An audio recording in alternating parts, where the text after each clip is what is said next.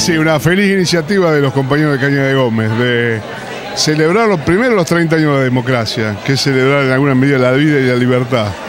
Y segundo, bueno, Casilda y las parejas, el año 1983, en los únicos lugares donde el Partido Socialista habíamos triunfado, eran las primeras elecciones que nos presentábamos como partido y volver a encontrarnos con los viejos amigos, la verdad que es un hecho importante de recuperar y rememorar. No, éramos todos jóvenes, con muchas ilusiones, con muchas expectativas, con muchas utopías también.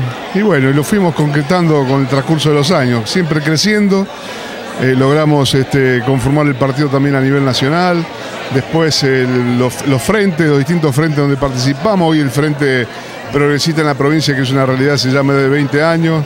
El Frente Amplio Progresista en el país, así que contentos. Bueno, es lo que pretendemos, que la experiencia que estamos llevando adelante en Santa Fe eh, de entendimiento, de, a pesar de las diferencias y los matices que existen y son lógicos entre partidos diferentes, pero podemos, eh, teniendo una propuesta, un programa común, gobernar la provincia de Santa Fe con mucho éxito. Lo mismo lo venimos haciendo en Rosario desde hace tantos años, en la ciudad de Santa Fe. Bueno, hoy ya gobernamos 189 municipios y comunas en la provincia y no es un dato menor.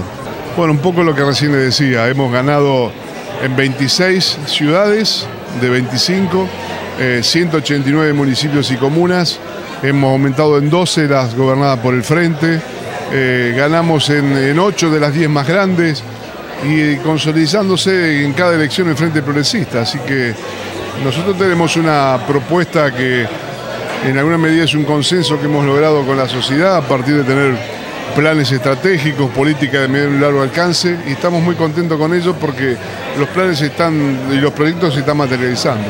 Nosotros somos siete partidos que confluimos en el Frente Progresista. Hay otras experiencias nuevas, pero también la boleta única conspira contra aquellos pícaros que se presentaron en una elección y lo único que hacían era presentar una boleta para ir a cobrar. Y me parece que esto ha sido una base institucional positivo en la provincia. Llevar adelante el plan estratégico. Estamos instrumentando un sistema de salud con centros de atención primaria, ya son 62, en los inaugurados vamos por 80. Tres de los cuatro hospitales de mediana complejidad ya inaugurados, los cinco hospitales de alta complejidad en distintas etapas de desarrollo. Eh, en educación tenemos ya más de 260 escuelas secundarias nuevas.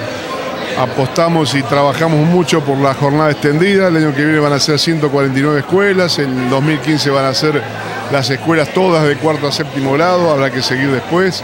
El vuelvo a estudiar, que es recuperar cada chico de la escuela secundaria que abandona. Las Olimpiadas Deportivas las industrias, la pasantía de las escuelas técnicas en 800 industrias de la provincia, cuatro acueductos que están en plena marcha en la provincia, vamos a seguir dándole mucho impulso y ojalá podamos conseguir financiamiento externo que nos apoye la nación para firmarnos los créditos que son tan necesarios para estos. Rutas, energías alternativas, el desarrollo de la EPE, como ustedes ven que está creciendo todos los días con muchas inversiones, eh, todos los aspectos culturales, de recuperar el patrimonio histórico, cultural y un diálogo permanente con el sector de la producción. Eh, todas las semanas visitamos empresas, todas las semanas encontramos aquellos lugares de la cadena de valor donde tiene más dificultades y allí está el gobierno provincial tratando de dar una mano. Así que bueno, estas son las cosas así en términos muy generales. ¿Se viene la reforma de la constitución en la provincia? Y me olvidaba el tema de viviendas, que es fundamental porque con mi tierra, mi casa ya llevamos más de 12.000 lotes de tierra urbanizada, otras 3.000 viviendas entregadas, otras 6.000 que están en ejecución. ¿Y la reforma, gobernador, se viene?